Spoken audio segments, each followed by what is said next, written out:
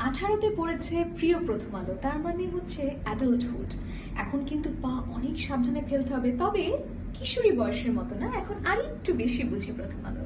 প্রিয় প্রথম আলো, আমাদের সবার পছন্দের প্রথম আলো, আমাদের সঙ্গীতাঙ্গনের সেই সর্বশ্রেষ্ঠ এবং সঙ্গীতাঙ্গনের সবচেয়ে প্রথম নিউজ সঠিক নিউজগুলো আমাদের সামনে তুলে ধরবে প্রথম আলো, দেশকে সামনে তুলে ধরবে প্রথম আলো, এই আশা করছি।